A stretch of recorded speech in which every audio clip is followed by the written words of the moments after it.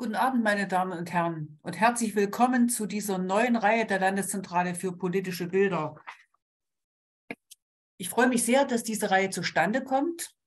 Ich freue mich, dass Sie sich zugeschaltet haben. Ich nehme auch an, dass sich noch weitere zuschalten werden. Eine ungewöhnliche Uhrzeit, 18 Uhr bis 18.45 Uhr. Und wir werden in den nächsten acht Wochen miteinander unterwegs sein. Und ich hoffe, dass äh, Sie genauso viel Freude an dieser Reihe haben wie ich schon bei der Vorbereitung dieser Reihe.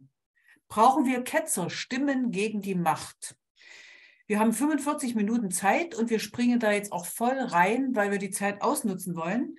Mein Name ist Eva Maria Zehrer. Ich vertrete die Landeszentrale für politische Bildung. Meine Kollegin Larissa Beidinger sitzt an der Technik. Dankeschön, dass Sie das machen, Frau Beidinger. Das ist sehr beruhigend. Und ganz besonders begrüße ich Marco Martin.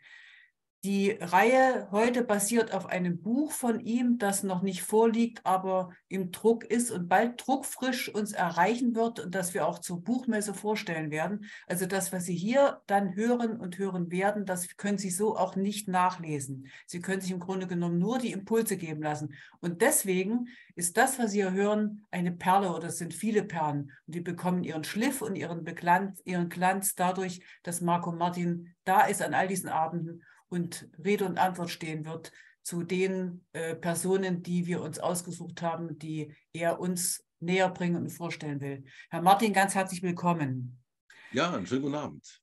Eine kurze Vorstellung. Marco Martin ist Sachse, ist in Burgstedt bei Chemnitz geboren, in der DDR aufgewachsen und äh, hat dann den Kriegsdienst verweigert, vielmehr die, ähm, äh, die NVA-Zeit verweigert, also Kriegsdienstverweigerer hat dann eine Zulassung zum Hochschulstudium gestrichen bekommen und hat daraufhin einen Ausreiseantrag gestellt.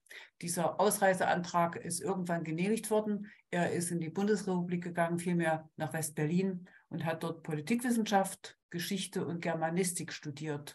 Und er ist dann im Laufe der Zeit äh, Schriftsteller geworden und er ist heute tätig für einige große Zeitungen, aber vor allen Dingen auch als freier Autor.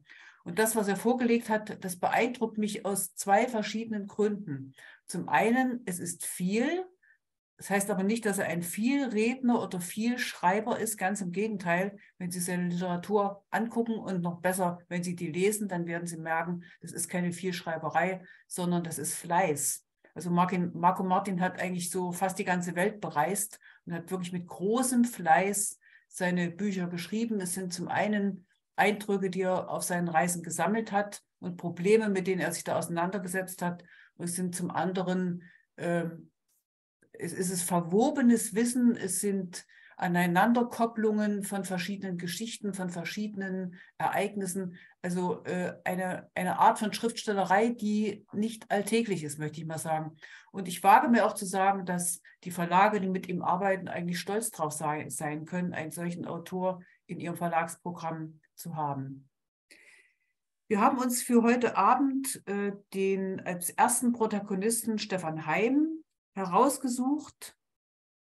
Ähm, Herr Martin, vielleicht können Sie ja mal ganz am Anfang überhaupt erstmal was zu diesem Buch sagen, das entstehen soll, zu dieser Idee und dann vielleicht auch ganz kurz so ein paar äh, Lebenswege von Stefan Heim skizzieren. Mhm. Ja, also vielen Dank für die ähm, für die Vorstellung. Äh, ganz kleine äh, Korrektur. Äh, bis zur Studiumzulassung in der DDR habe ich es nicht mal geschafft.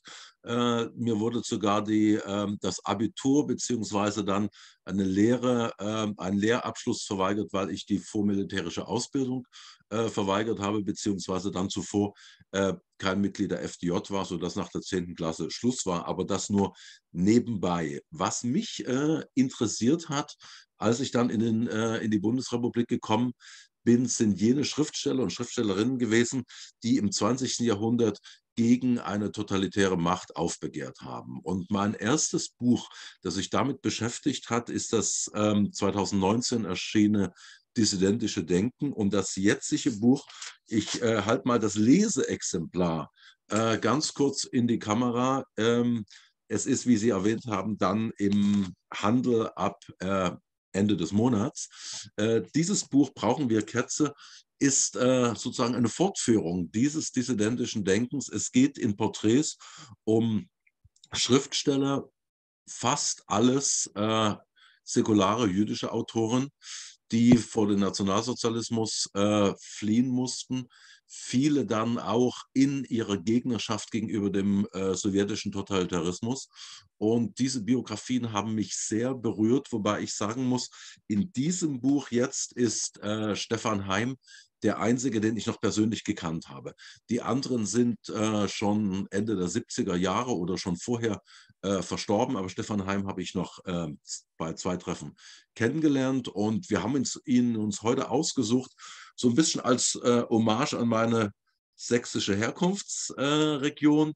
Stefan Heim ist ja 1913 als Helmut Flieg in Chemnitz geboren, äh, flog dann äh, von einem Gymnasium in Chemnitz, weil er ein pazifistisches Gedicht geschrieben hat, konnte dann das Gymnasium, äh, das Abitur machen in Berlin, aber musste dann bereits 1933 äh, fliehen über Prag, wo er einige Jahre war, und dann in die USA, wo er ähm, schon die ersten Romane geschrieben hat, damals noch, äh, damals äh, bereits auf Englisch und dann äh, nach dem Krieg äh, die äh, 1952 die Übersiedlung in die DDR.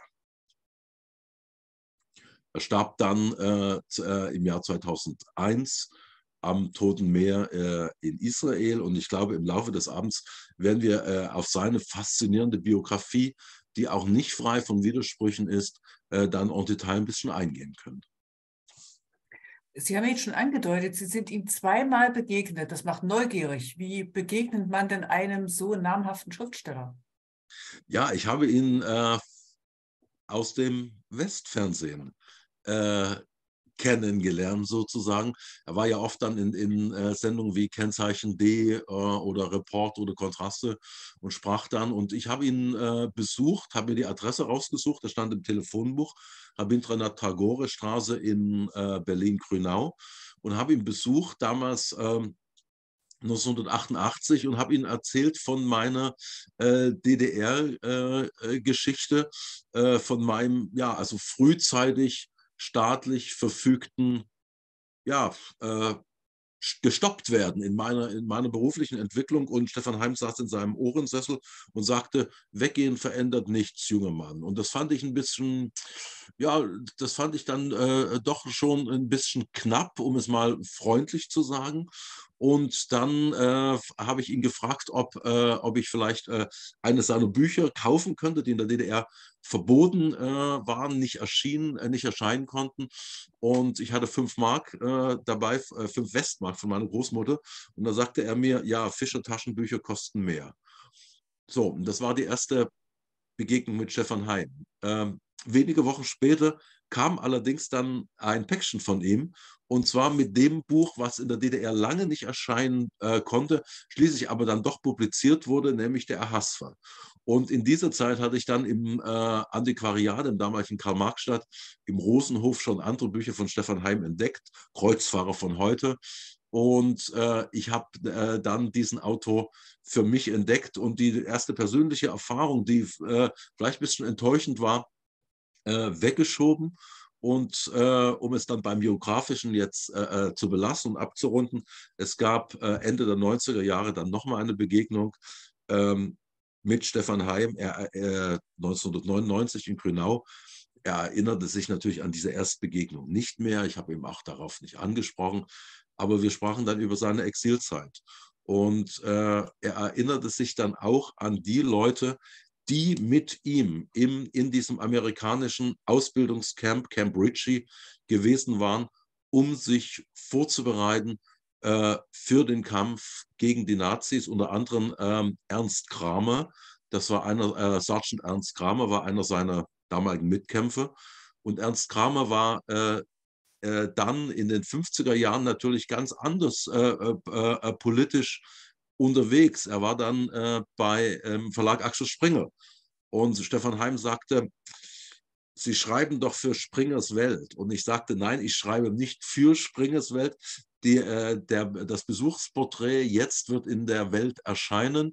Und er sagte, da ist doch dieser Ernst Kramer. Und ich sagte, ja.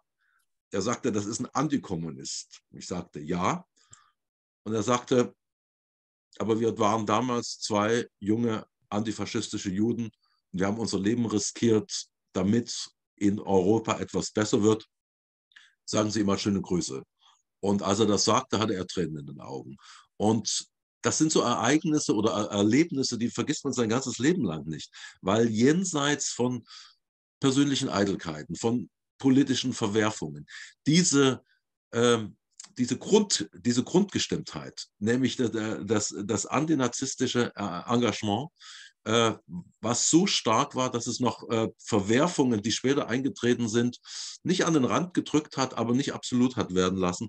Das hat mich ungeheuer beeindruckt. Und das ist jetzt äh, in Kürze, in, in dem Buch gehe ich natürlich ausführlicher darauf ein, so meine persönliche Geschichte mit Stefan Heim, die sich aber natürlich dann äh, geweitet hat in der Lektüre seiner Bücher.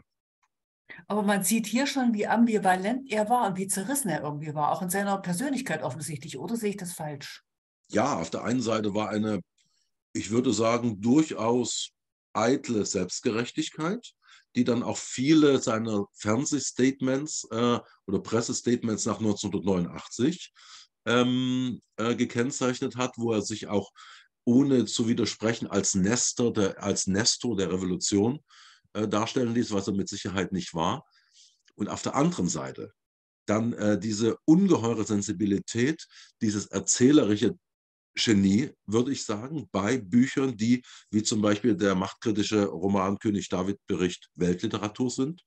Und beides, das, ähm, das etwas auf sich bezogene, ich würde fast schon sagen, e egozentrische im äh, biografischen. Er war auch in der DDR jetzt nicht unbedingt einer, der jenseits der Unterschrift äh, gegen die Biermann-Ausbürgerung dann wirklich unbekannteren oppositionellen äh, zur Seite gesprungen wäre, wie, ich, wie Leuten wie Stefan Kraftschik oder Freier Klier oder Jürgen Fuchs. Äh, da gab es von seiner Seite eben nicht diese Solidarisierung. Aber, und dieses Aber würde ich in Majuskeln schreiben wollen, seine Bücher, wo seine Helden oder Antihelden äh, oftmals viel ehrlicher sind und klüger als der Autor in manchen Lebenslagen selbst. Und das alles, äh, und das ist auszuhalten. Und ich finde das auch gar nichts äh, Schlimmes oder etwas zu Verbergendes, sondern geradezu Faszinierendes. Mich hat es immer äh, gereizt, Widersprüche darzustellen, ohne das zu kletten, ohne das im Nachhinein ähm, wegzuwischen oder gar mit einem äh, moralischen äh, äh, Zeigefinger dann zu kategorisieren, sondern beides an, nebeneinander zu stellen. In Ihrem Kapitel über Stefan Heim, in Ihrem Buch, ist für mich erkennbar, dass er an mehreren Fronten gekämpft hat. Also Herrschaft und Kampf gegen Herrschaft und beherrscht werden war ja für ihn offenbar immer ein Thema, also ein Lebensthema. Sonst wäre er vielleicht nicht so ambivalent gewesen. Ja. Aber es scheint mir, dass er wirklich ähm, aufgrund auch seiner Herkunft und dessen, was er aushalten musste, äh, sich das Herrschaftssystem angeguckt hat und sich dazu geäußert und verhalten hat. Er ist ja ins Exil gegangen, der ist auch wiedergekommen. Auf der anderen Seite aber auch wirklich seine eigenen Ängste. Und äh, hat sich das, also sehe ich das richtig, und hat sich das in der Zeit vor seinem Exil, während seines Exils und dann auch als er zurückgekommen ist, verändert? Es wurde was, äh, was etwas ganz Fundamentales, was Sie angesprochen haben, äh, die Ängste. Das ist dann in den späteren äh, Büchern äh, immer weiter äh, thematisiert wurden. Die Machtkritik war aber äh, schon ganz früh in äh, einem äh, Buch, das er auf Englisch geschrieben hat, das in den USA dann sofort ein Bestseller wurde unter dem Originaltitel Hostages, auf Deutsch der Fall Glasenapp. Der spielt im nazi-okkupierten Prag und dann Crusaders, auf Deutsch Kreuzfahrer von heute. Äh, der große Weltkriegsroman, wo er beschreibt, wie, äh, wie es zuging in der US Army im, äh, bei der Landung in der Normandie, bei der Befreiung Frankreichs. Und er beschreibt äh, äh, in einer, äh, in einer Weise, die ungeheuer faszinierend ist und die zeigt, wie er in den USA auch das angelsächsische Storytelling äh, gelernt hat. Er beschreibt die Kriegsdynamik, den Kampf gegen den Narzissmus, aber auch gleichzeitig die Hierarchie innerhalb der Armee, wo natürlich auch nicht nur Helden äh, da waren, sondern auch Vorgesetzte, die im Fall des Falles äh, keine angenehmen Charaktere waren. Und, äh, und sein alter Ego, der, äh, der Protagonist, ist eher ein beobachtender Intellektueller, der natürlich die Uniform trägt, aber gleichzeitig auch observiert und beobachtet, wie sind Machtstrukturen innerhalb äh, der Armee. Und deshalb ist dieser Roman bis heute, äh, also ich würde sagen, ein hervorragender äh, Roman, um zu verstehen, wie es im Zweiten Weltkrieg äh, zu, äh, zuging. Ich würde ihn jetzt in eine Reihe äh, stellen mit Herman Wuchs äh, Feuersturm, mit ähm, verdammt, äh, verdammt in alle Ewigkeit von James Jones oder Norman Mailers Die Nackten und die Toten. Und dann kommt der Blick ab den 60er Jahren, wird differenzierter, subtiler, was die Angst betrifft, die Angst und die Eitelkeit der Guten, die mitunter eben auch nur, die mitunter eben auch manchmal nur die vermeintlich Guten sind. Es gibt diesen äh, Roman Uncertain Friend äh, im englischen Original, äh, auf Deutsch, in der DDR dann auch mit Verzögerung erschienen, Lassalle. Er beschreibt Ferdinand Lassalle als einen charismatischen Führer der jungen Sozialdemokratie, aber gleichzeitig als einen ziemlich eitlen Womanizer, der über die Arbeiter spricht, aber mit der, mit der Arbeiterschaft eigentlich kaum etwas zu tun hat, sondern in seinen äh, Salons äh, und in äh, Betten unterwegs ist und dann aber gleichzeitig dennoch sich aufopfert für die Sache der unterdrückten äh, Arbeiter und in seiner Autobiografie ähm, äh, äh, Nachruf schreibt dann Stefan Heim, dass er den Lassalle in seiner Eitelkeit, in seinem Mut und auch in seinen Ängsten auch zum Teil als Selbstporträt konzipiert hat. Und das finde ich, das finde ich wirklich faszinierend, ganz jenseits dieser Kategorie Helden, Anti-Helden, sondern dieses, dieses vermischte Ambivalente. Und es ist natürlich dann äh, zu großartiger Literatur geworden in Stefan Heims wahrscheinlich besten Roman, dem König David Bericht, wo der biblische wo die biblische Geschichte von König David und Bathseba und äh, Salomo und wir kennen ja all diese Geschichten, ähm, nochmal machtkritisch ins Erzählerische geweitet wird. Der Protagonist Edan ben Hosea ist ein Chronist, der am Hofe König Salomos den äh, Auftrag erhält, einen Bericht zu schreiben über Taten und Leben König Davids. Und man sagt ihm, er soll nicht die Wahrheit verschweigen, weil das würde nur schlafende Hunde wecken. Er soll die Wahrheit allerdings etwas ähm, dezenter darstellen. Das heißt, er soll auf eine gekonnte Weise verschweigen. Und das ist jetzt natürlich nicht nur eine Aufforderung für eine bestimmte Schreibästhetik, sondern es geht um Leben und Tod. Dieser Edan Ben Hosea erfährt über David was David auch im Grunde genommen für ein Verbrecher war. Wir kennen das ja äh, aus der biblischen äh, Geschichte, wie er Bathsebas Mann an die Front gestellt hat, wie er geraubt und gemordet hat. Und der Historiker findet das alles heraus und hat natürlich Angst, wie weit darf er gehen mit dem, was er herausgefunden hat, äh, wie weit muss er der historischen Wahrheit treu bleiben und wie weit muss er auch äh, dafür acht, äh, darauf achten, dass er und seine Familie jetzt nicht äh, einem Mordkommando anheimfallen. Und das alles geschrieben in einem Deutsch, was der Lutherbibel entlehnt ist. Im englischen Original hat sich Stefan Heim, wie er es selbst dann mal beschrieben hat, von der King James Bibel inspirieren lassen. Und das ist natürlich ein, ein Roman, der heute noch äh, so viel sagt über, über totalitäre, autoritäre Regime und die Möglichkeit, oder vielleicht auch die Unmöglichkeit, denen zu widerstehen.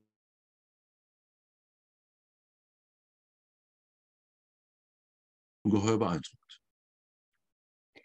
Ähm, Herr Martin, Sie haben mal vor nicht allzu langer Zeit in einer Tagung über Autobiografie als Quelle und als Zeitzeugenschaft gesagt, äh, die, die wertvollsten und ähm, authentischsten Autobiografien sind diejenigen, in denen der Autobiograf äh, mit sich selbst umgeht. Und zwar äh, dahingehend, dass er sich in Frage stellt, dass er die Fragen über sich selbst und über das, was er schreibt, auch dem, dem Hörer, Leser oder wer auch immer es ist, äh, stellt, indem er auch seine Zerrissenheit mitteilt. Ähm, das sind die, die Werke, die Bücher, die uns weiterbringen oder die, die mhm. Aussagen, die uns weiterbringen, auch die des Zeitzeugens, weil man hat ja schon oft das Gefühl, dass wenn man eine Autobiografie liest, das geschönt ist oder so. würden, Sie, würden Sie die Bücher wenn das auch nicht reine Autobiografien sind, sondern immer mal da und da was kommt, würden Sie die dahingehend einordnen?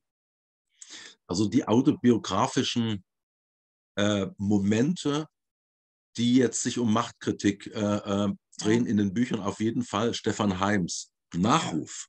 Äh, würde ich nicht dazu zählen. Äh, gemessen an anderen autobiografischen Büchern von gebrochenen Jahrhundertbiografien, ich denke jetzt an Manis Stefan Heims Nachruf auch auf sich selbst doch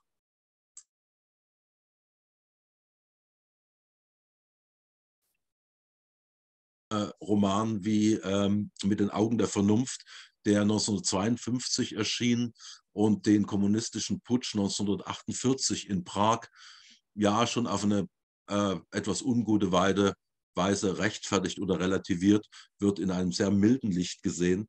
Ähm, diese, diese Autobiografie ist, obwohl sie natürlich auch wieder spannend erzählt ist, jetzt nicht unbedingt ein Musterbeispiel intellektuelle Selbstprüfung. Aber in den Romanen, wo er sich ähm, zum Teil kamouflieren kann, äh, kommt dieses, ähm, äh, diese Melange aus Angst und Widerstehen viel stärker raus. Ich äh, würde auch noch einen Roman dazu nehmen wie Colleen, der dann äh, äh, im Westen verfilmt wurde äh, unter, nach einem Drehbuch von Heims Freund äh, Klaus Poche mit äh, Kurt Jürgens in einer seiner letzten Rollen. Kurt Jürgens spielt den DDR-Schriftsteller Colin, der in einem DDR-Regierungskrankenhaus nach einem Herzinfarkt liegt und neben ihm im Zimmer liegt der Stasi-Chef. Und die beiden kennen sich. Und die beiden ringen an, äh, äh miteinander in Gesprächen, wer hat jetzt sozusagen den längeren Atem um zu beschreiben, wie es wirklich war. Der Schriftsteller Colin stirbt und der Stasi-Chef überlebt, aber das Manuskript des Schriftstellers Colin wird, äh, wird aufbewahrt. Und dieser Sieg der Literatur, auch gegenüber den eigenen Ängsten, äh, ist, äh, ist in einer Weise be äh, beschrieben, die uns heute noch äh, so an Herz und Hirn greift, äh, dass ich glaube, dass Stefan Heim in seinen fiktionalen Romanen wie das oft ist, viel ehrlicher sein konnte, als dann in Büchern, wo er äh, sich selbst autobiografisch sieht und ja dann vielleicht ein bisschen allzu formidabel sieht. Musste Ihrer Einschätzung nach Stefan Heim Schriftsteller sein, um seine Machtkritik anzubringen? Hat er, wäre das für ihn die einzige Möglichkeit gewesen, von, seinem, von seiner Lebenseinstellung her, von seinem Temperament her, von seinem äh, Ausdruckswunsch, äh, Ausdrucksvermögen her, äh, ist die Schriftstellerei für ihn nach Ihrer Einschätzung die, die einzige Möglichkeit gewesen, sich zu Herrschaftssystem, Ängsten, was auch immer, ketzerhaft, sagen wir gerne mal ketzerhaft zu äußern? Ja, auf jeden Fall, wobei natürlich hinzukommt, man wird ja, man wird ja nicht äh, Schriftsteller, weil man irgendein Thema bearbeiten will. Man wird Schriftsteller, weil man äh, die Lust hat, am Geschichten finden, an Geschichten erfinden. Und ähm, es, äh, ich glaube, Menschen, die Schriftsteller geworden sind, nur um etwas, nur um eine Meinung oder eine Position zu vertreten, ähm, die konnten auch als Schriftsteller nicht wirklich überzeugen. Stefan Heim war natürlich ein Vollbluterzähler in einem, mit einer großen äh, äh, Lust an, auch an verschiedenen Tonlagen. Äh, wir erinnern uns äh, an ein Buch, was dann letztendlich doch in der DDR erscheinen konnte, nämlich die Schmähschrift, die im, äh, im, 18., im frühen 18. Jahrhundert in London spielt, äh, wo Daniel Defoe gegen die englische Zensur ankämpft, im Übrigen auch ankämpfen konnte, weil es im, 18., im frühen 18. Jahrhundert äh, in England dann immer noch liberaler zuging als in der DDR der 60er und 70er Jahre. Das heißt, äh, äh, Stefan Heims genuine Lust am Erzählen war immer da, dass ihn natürlich dann das Thema äh, der Machtkritik und des machtkritischen Intellektuellen immer wieder äh, bewegt hat, äh, zeigt natürlich, wie, wie ihn dieses Thema umgetrieben hat. Auch, äh, in, der, äh, auch in der DDR, nach, dem, äh, nach der Frage, die Wolf, wie es Wolf Biermann mal so schön formuliert hat, wie weit kann man zu weit gehen? Und äh, ich glaube, hätte Stefan Heim diese Reibungsfläche in der DDR nicht gehabt, hätte er vielleicht auch nicht diese Bücher schreiben können. Ich könnte ihn mir jetzt wirklich nicht vorstellen als einen Autor, der in der Bundesrepublik äh, mit derselben Intensität hätte schreiben können. Können Sie vielleicht noch äh, so ein bisschen einschätzen, erzählen, die Zeit nach seiner Rückkehr aus seinem Exil, äh, wie, wie er sich da entwickelt hat und wie er, äh, ob sich sein Denken entwickelt hat, wie er sich als Person entwickelt. War das für ihn schon äh, dann irgendwie ein zu spät äh, von irgendwas oder? Ja, das ist, das ist eine äh, hochinteressante Frage. Es gibt nämlich noch einen Exilroman, äh, der jetzt erst vor zwei Jahren in deutscher Übersetzung äh, erschienen ist, äh, auf Smiling Peace im Original, Flammender Frieden. Es spielt äh, im befreiten Nordfrankreich, wo die deutschen Truppen Ski-Franzosen kollaborierend abwarten, wie es denn jetzt mit den neuen äh, äh, äh, amerikanischen äh, Truppen weitergeht und die Deutschen dann aber immer, äh, immer noch ähm, präsent sind und ähm, Attacken äh, wagen. Und es gibt im Grunde so, ein, so, ein, so, ein, so einen, einen immer wiederkehrenden Kon Konflikt oder ein Aufeinandertreffen zwischen einem gebildeten Nazi-Offizier und einem äh, deutschen Juden in der Uniform der amerikanischen Armee. Es ist, der, äh, es ist der Konflikt zwischen einem Nihilismus, der sich auf Nietzsche bezieht, natürlich dann auch äh, äh, Nietzsche missversteht oder missverstehen will, und einem demokratischen Idealismus. Und es ist äh, unglaublich intensiv. Und dann fragt man sich, dieser Stefan Heim, der 1900 1944 so einen Roman geschrieben hat, schreiben konnte, da war, da war erstmal, da war Anfang 30.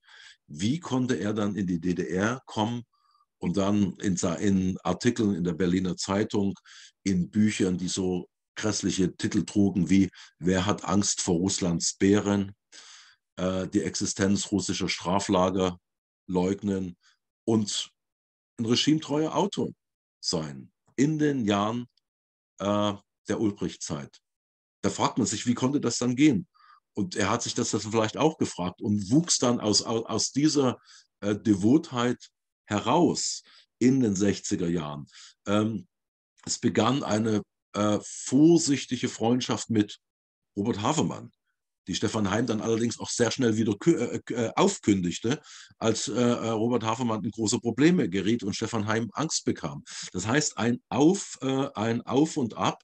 Und dann kamen eben diese Bücher, Lasalle, König David Bericht, ähm, die Schmähschrift und danach dann äh, Ahasver, wo er ja zu einer erzählerischen Souveränität und zu einem erzählerischen Mut wiederfindet, der schon in den Exilromanen ganz früh angelegt ist und was ihn in den 50er Jahren dazu gebracht hat, dieser bigotten Ulbricht-DDR äh, für eine Weile treu zu sein, äh, bleibt ein Rätsel. Da kann man natürlich sagen, gut, er hatte äh, enttäuschende Erfahrungen mit der McCarthy USA der Nachkriegszeit. Und die Bundesrepublik jener Zeit war für ihn als über, damals überzeugten Kommunisten keine Alternative. Aber trotzdem, diese DDR jener Zeit, ähm, es bleibt ein Rätsel. Und ich muss auch sagen, sein immer als Geheimtipp gelabelter Roman, Fünf Tage im Juni zur, zum Aufstand am 17. Juni 1953, bleibt dann auch relativ unentschlossen.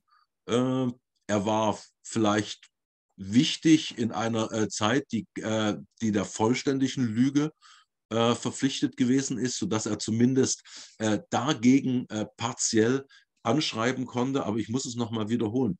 Die großen äh, Romane sind die, die jetzt mit der DDR vielleicht gar nicht so konkret etwas zu tun haben, aber dieses auch DDR-Thema des Widerstehen und Widerstehen Wollens und dann vielleicht auch nicht widerstehen Könnens universell äh, ins äh, universell weiten, ob das jetzt im London des 18. Jahrhunderts ist oder äh, in der biblischen Zeit der Könige Salomo und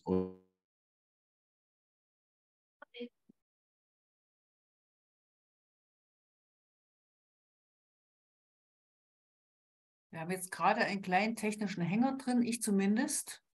Äh, wir sehen das jetzt alles ein bisschen eingefroren. Das geht sicher gleich Aber er ist eben nicht allein auf, bei dieser DDR-Erfahrung stehen geblieben. Und das ist, das ist etwas ganz Wichtiges. Und aus diesem Grund ist er auch heute, und zwar in Ost und West, und West ein Autor, der auf jeden Fall äh, zu entdecken wäre und jetzt nicht nur in, äh, zu entdecken im Sinne eines, das sind wir ihm schuldig aufgrund dieser äh, Biografie, sondern nein, in der Freude an diesen Romanen, von denen ich sagen muss, die sind verdammt gut geschrieben.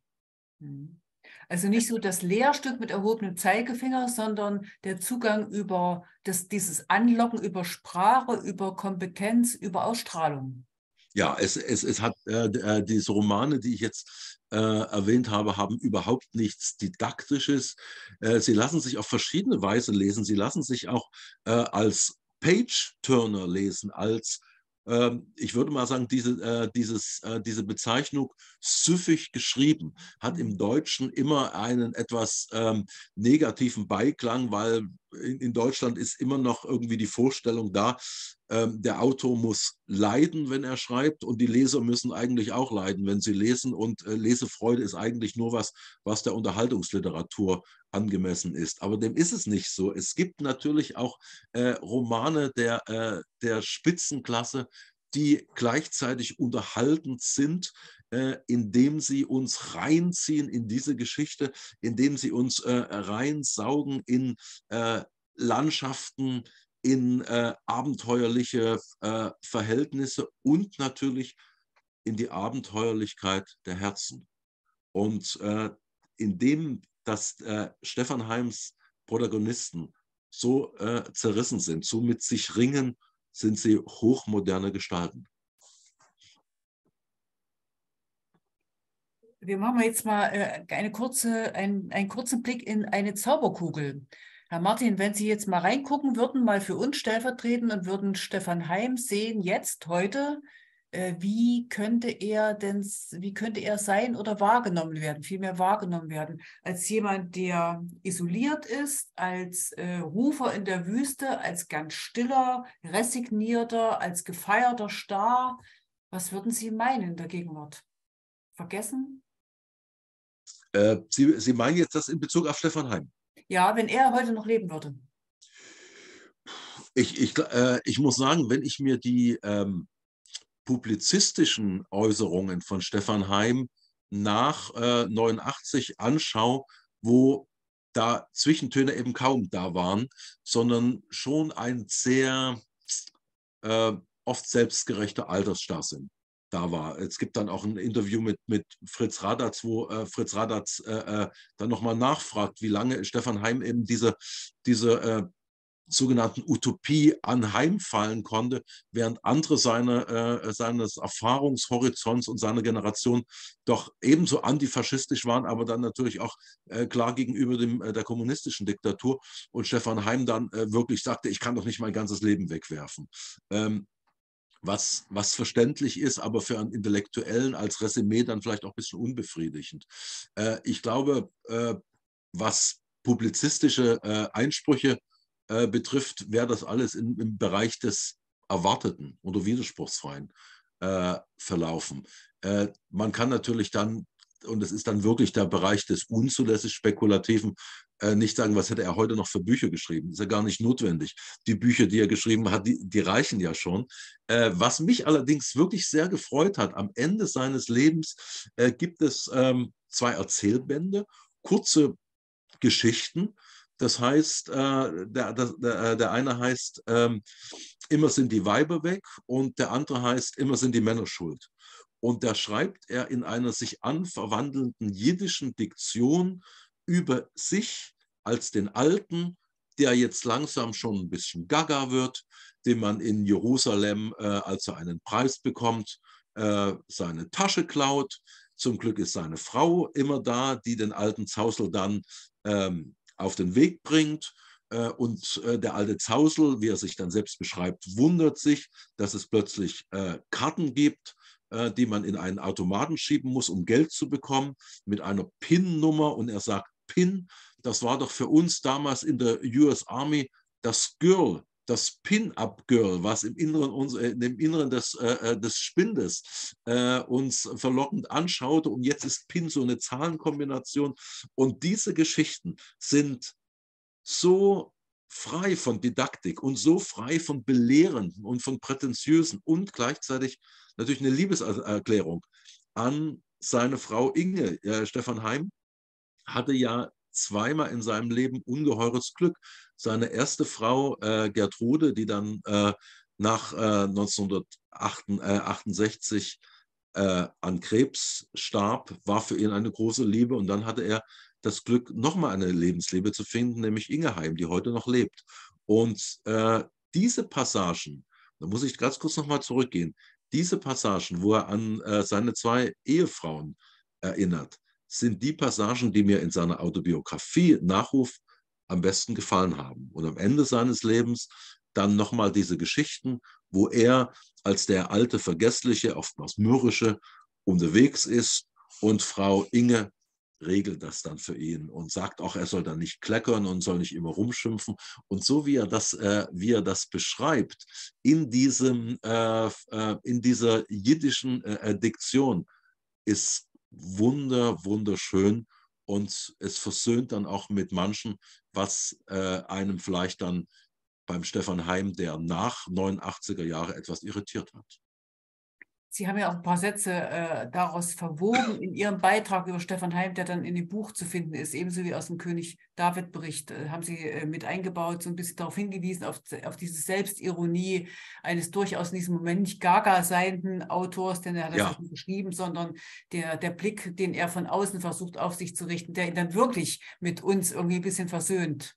Auf jeden Fall, ja. Ähm, Herr Martin, Sie sind jetzt selber ein gestandener Schriftsteller. Sie haben sich, Sie haben viele Reiseberichte geschrieben. Sie haben viel über Diktaturen und Menschenrechte geschrieben. Sie haben viel über dissidentisches Denken geschrieben. Eines Ihrer Bücher, äh, wir hatten schon gesagt, das heißt auch so. Sie haben ein Buch geschrieben in äh, jüngerer Zeit, äh, die verdrängte Zeit, in der Sie den gesamten Kulturbetrieb der DDR ineinander verwoben darstellen mit einer, mit einer Kompetenz. Also das ist unglaublich. Äh, Sie haben äh, im vergangenen Jahr, ich glaube, es war im vergangenen Jahr, ein Buch geschrieben mit dem Titel Die letzten Tage von Hongkong. Sie waren also bei der letzten halbwegs freien Demonstration dort selbst anwesend, haben das miterlebt, haben eine Reportage darüber geschrieben. Und jetzt kommt dieses Buch. Sie sind renommiert, Sie sind gestanden. Wenn Sie jetzt nach so vielen Jahren wieder dorthin gehen könnten, er würde noch leben. Sie würden also äh, ein drittes Mal ihn treffen. Was würden Sie ihn ganz dringend fragen wollen? ich weiß gar nicht, ob ich ihn etwas fragen würde. Ich würde ihn in aller, in aller äh, Bescheidenheit vielleicht äh, ein paar meiner Erzählbände äh, mitbringen, die in äh, Lateinamerika, die in Israel spielen, also nicht Reiseberichte, sondern Erzählungen, ja. die jetzt auch nicht nur von äh, politischen, sondern auch von erotischen Abenteuern handeln. Ich würde äh, das mitbringen und würde ihn eigentlich gar nicht zur Zeitgeschichte fragen, sondern würde ihn nochmal ausfragen zu den Gestalten seiner Romane, die dann äh, einen dann vielleicht doch sogar näher sind als der Autor in Fleisch und Blut. Auch sowas gibt es. Jetzt kommt die letzte Frage, denn Blick auf die Uhr. Wir wollen sie an die 45 Minuten halten, damit unsere Zuhörer auch das nächste Mal wieder einschalten und wissen, es ist nach 45 Minuten wirklich zu Ende ähm, brauchen wir Ketzer Stimmen gegen die Macht. Äh, wir haben heute Abend behauptet, wir brauchen Stefan Heim als Ketzer, als Stimme gegen die Macht, sonst hätten wir hätten ja nicht über ihn gesprochen, sonst hätten Sie ihn ja in dieses Buch nicht aufgenommen. Ähm, die Frage ganz kurz, also eine, eine kurze Antwort, warum Stefan Heim? Warum brauchen wir ihn? Was, was gibt er uns für heute mit? Er gibt uns für, für heute mit in seinen Romanen ein Ambivalenzbewusstsein. Das heißt, äh, das Bewusstsein, das gegen die Lügen einer autoritären Macht Widerstand möglich ist und nötig ist und gleichzeitig die, die widerstehen, auch keine Ritter ohne Fehl und Tadel sein können. Ich muss aber nochmal äh, äh, darauf, äh, darauf hinweisen, dass diese Machtkritik jetzt äh, sich natürlich auf Diktaturen bezieht, auf unkontrollierte Macht. Wir haben das ja auch heute in, äh, in, in Deutschland, dass sich viele als Dissidenten äh, ergeben, nur weil sie keine, äh, nur weil sie keine Covid-Masken tragen äh, möchten oder dann äh, äh, gegen die da oben oder die Macht. Das ist natürlich eine lächerliche Travestie. In einer Demokratie ist Macht zeitlich begrenzt. Es gibt Oppositionsparteien, es gibt Medien, es gibt alle möglichen ähm, Formen, Macht zu kontrollieren, sodass man äh, äh, in einer Demokratie ja keine Machtkritik äußern muss, sondern man kann sich einbringen mit der oder minder, äh, mit der oder jenigen politischen äh, Position. Aber wir sehen natürlich, dass in Diktaturen und auch in autoritärer werdenden Ländern wie äh, zum Beispiel dem gegenwärtigen Polen oder wie Ungarn jetzt gar nicht äh, äh, äh zu reden äh, äh von, äh, vom Putin-System, sondern auch von Ländern, wo die Demokratie schon installiert zu sein schien, wie in, in Polen und, und Ungarn, die Macht dazu neigt, sich unkontrollierbar zu machen und dann es wieder nötig ist, ähm, Gegenstimmen zu finden. Und eine dieser und, und diese Gegenstimmen finden sich eben auch in den Romanen von Stefan Heim. Und deshalb haben wir ihn heute als ersten der Reihe äh, gewählt. Ich möchte vielleicht ganz kurz noch mal was äh, zu dem Buchtitel sagen. Brauchen wir Ketzer? Das ist eine, ein Zitat äh, aus einer Rede, die ein Generationsgenosse von Stefan Heim gehalten hat, Fritz Bär, 1911 in Brünn geboren, 19, ähm, in den 30er Jahren äh, überzeugter Kommunist in der Tschechoslowakei, der sich dann entfernt hat äh, vom Kommunismus, in der tschechoslowakischen Auslandsarmee gegen Hitler gekämpft hat und dann im englischen Exil geblieben ist und dann hochbetagt 2006 gestorben ist. Fritz Bär fragte noch in den 90er Jahren seine deutschen Kollegen, brauchen wir Ketzer? Brauchen wir Leute, die auch gegen das eigene Referenzsystem denken können? Aber ich äh, möchte hier nicht vorgreifen, denn Fritz Bär wird das Thema eines unserer nicht, nicht, äh, nicht, die, äh, nicht nächste Woche, sondern eines der nächsten Abende in unserer kleinen Reihe sein, äh, wo, dann, wo dann die Frage, brauchen wir Ketzer, nochmal auf eine ganz andere äh, Weise beantwortet wird. Ja, nächste Woche äh, sprechen wir über eine große Dame, eine große alte Dame, Anna Segers, trotz fortgeschrittener Parteigläubigkeit, welche Neugier auf die Welt. Es gibt äh, in der nächsten Woche eine Ausnahme. Wir treffen uns schon am Dienstag um die gleiche Zeit. Dienstag 18 Uhr, dann aber immer mittwochs. Nächste Woche müssen wir es auf Dienstag vorverlegen. In unserem Mailing, das wir wieder rausschicken, äh, steht das auch drin. Also bitte für nächste Woche in den Kalender schreiben. Dienstag 18 Uhr. Wir würden uns sehr freuen, wenn Sie wieder dabei wären. Ich bedanke mich ganz, ganz herzlich bei äh, Herrn Martin dafür, dass er heute Abend da war, uns auf diese lebendige Art und Weise ähm, Stefan Heim auch wieder ein Stückchen näher gebracht hat und vor allen Dingen erzählt hat, weshalb es wichtig ist zu widerstehen und weshalb man auch widerstehen kann, wenn man kein Ritter ohne Fehl und Tadel ist. Und wer ist das schon? Ganz herzlichen Dank, Herr Martin, ganz herzlichen Dank, Frau Beidinger und herzlichen Dank allen, die zugehört haben. Bis zum nächsten Mal. Auf Wiedersehen. Auf Wiedersehen. Ich danke auch allen und auch allen, die zugehört haben. Bis nächste Woche.